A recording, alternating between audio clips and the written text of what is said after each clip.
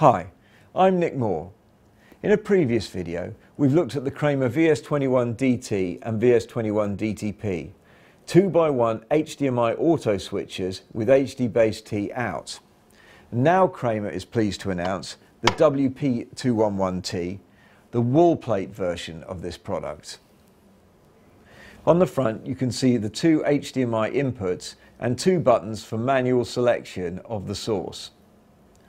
On the back of the unit, we can see the HDBaseT output, which can also provide PoE to the unit, and if PoE is not available, a 5 volt DC input.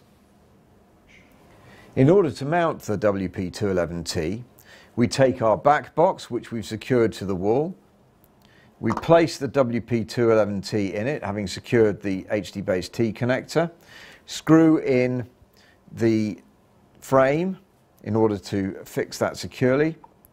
We then place the outer rim in position and finally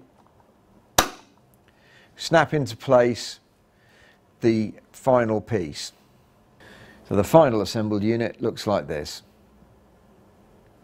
The WP211T is ideal for small classrooms and meeting rooms in fact, anywhere where you might have two HDMI inputs and need to send them to a single display. For more information on the WP211T and Kramer's range of HDMI switches, please visit our website. Thank you for watching.